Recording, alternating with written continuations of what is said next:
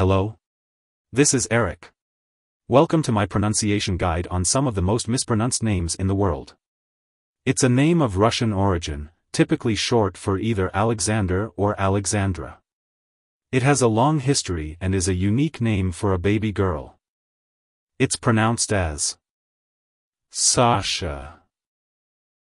Sasha. Sasha. To pronounce it correctly, emphasize the first syllable SAH and then gently say the shu sound at the end. Make sure not to emphasize the sh too much. Like, hello Sasha. Goodbye Sasha. If you found the video helpful, hit the like button and subscribe for more on commonly mispronounced words. Thanks for your support.